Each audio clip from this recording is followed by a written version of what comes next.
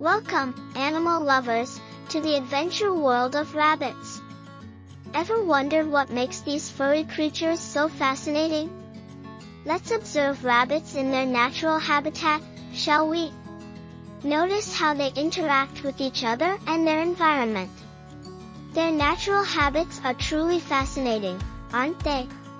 Now, let's learn how to create a fun and safe playground for your pet rabbits.